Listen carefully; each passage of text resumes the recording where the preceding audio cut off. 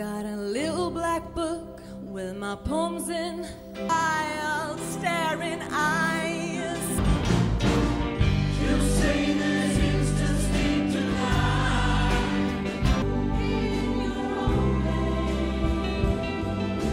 Hello, is there anybody in